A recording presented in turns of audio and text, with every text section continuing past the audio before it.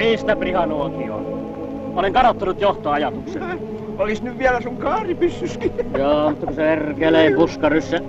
Anteeksi, pensas neuvostoliittolainen pääsisi asemien väliin.